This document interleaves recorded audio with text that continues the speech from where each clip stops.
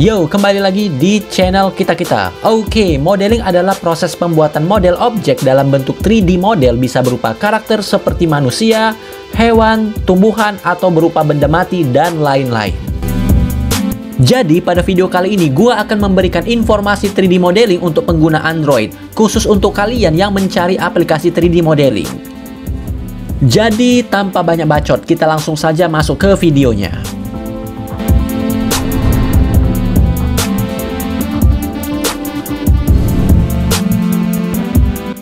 Space Draw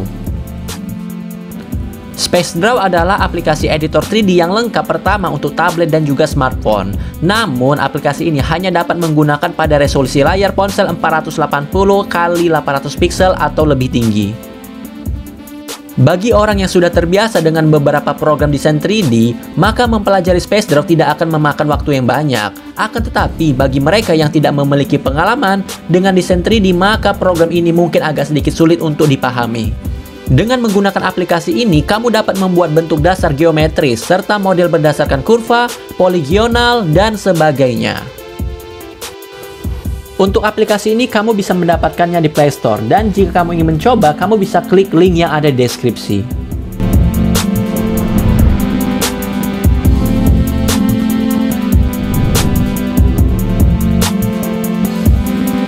Di 3D Sculptor,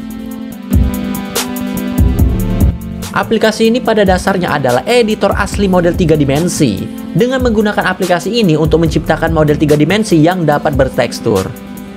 Di dalam aplikasi ini terdapat alat yang membantu kamu untuk membuat menggambar bagian dari model atau sebaiknya. Dan kamu bisa membuat penyok, memindahkan, memutar, meregangkan, dan memanipulasi objek dari aplikasi ini. Dan hasilnya akan terlihat seperti patung yang terbuat dari tanah liat.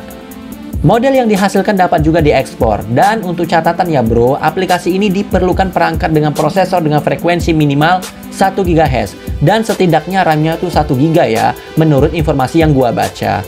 Dan untuk kamu yang ingin mencoba, kamu bisa mendapatkannya di Play Store atau kamu bisa klik link yang ada di deskripsi.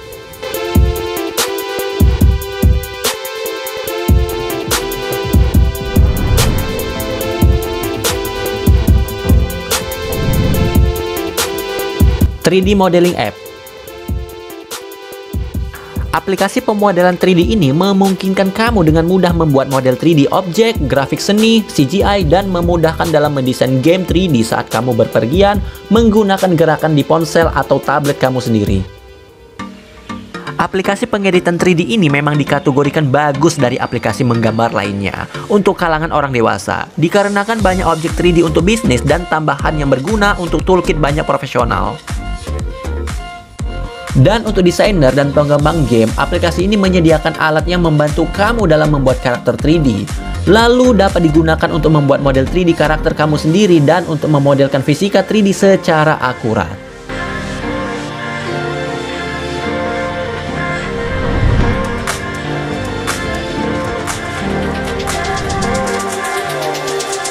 ...3D SDF Aplikasi 3D SDF adalah aplikasi modeling 3D yang bagus digunakan bagi kamu yang suka dalam membuat desain 3D dan bukan buat anak. Yeah, boy. Aplikasi ini menampilkan serangkaian perangkat standar fungsi pemodelan dan ekspor resolusi tinggi untuk printer 3D dan menggunakan teknik pemodelan soft edge yang efisien memori dan disesuaikan dengan perangkat seluler.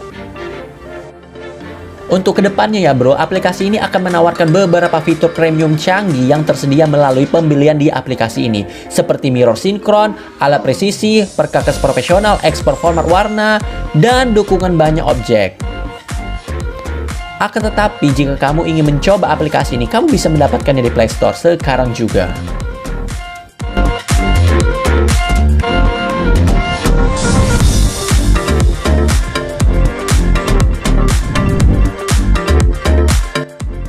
Cobeams 3D Modeling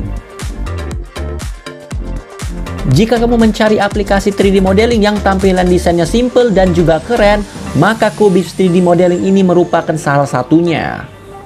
Cobeams adalah aplikasi yang bagus dalam merancang dan membangun model 3D sederhana dengan menggunakan perangkat layar sentuh. Hal ini dengan konstruksi blok digital yang disebut cubes, yang dapat ditambahkan, dihapus, dipindah, miring, berbentuk, diputar, dan diwarnai dengan beberapa sentuhan. Aplikasi ini telah dirancang dari awal dengan dedikasi pada operasi sentuh dan kinerja. Fokus zoom in pada daerah-daerah yang membutuhkan pekerjaan di presisi tinggi dan QBeams akan mengakomodasinya. Dan jika kamu tertarik dengan aplikasi ini, kamu bisa mendapatkannya di Play Store.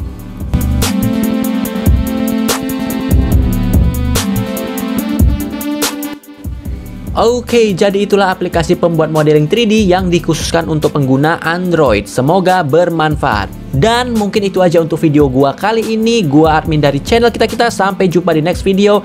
Yamete Kudasi. Good job!